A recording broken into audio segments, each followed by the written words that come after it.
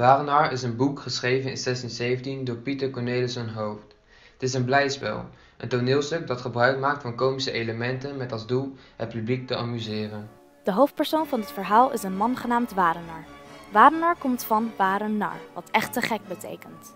In het verhaal zien we meerdere keren terug waarom hij zo heet. Het verhaal gaat over Warenaar die zijn verbieze leven laat leiden en in pure angst leeft omdat hij het geld heeft gevonden in zijn huis. In deze video gaan we het hebben over het derde bedrijf van het verhaal. Het verhaal speelt zich af in Amsterdam. Warenaar leeft in complete angst vanwege zijn pot goud. Hij denkt dat iedereen het heeft gemunt op zijn geld. Hij beschuldigt Casper, Lekker en Theeuwis ervan dat ze zijn pot wilden stelen omdat hij ze hoorde praten over een pot. Warenaar denkt dat zijn enige oplossing het opnieuw verstoppen van de pot is. Hij denkt namelijk dat Rijkert het personeel heeft ingehuurd om zijn pot met geld te stelen. Later heeft Warenaar weer een gesprek met Rijkert. Rijkert praat met hem over zuinig zijn en prijst Warenaar ook om zijn zuinigheid. Warenaar waardeert dat. Maar zodra Rijkert begint over de bruiloft, begint Warenaar hem weer te wantrouwen.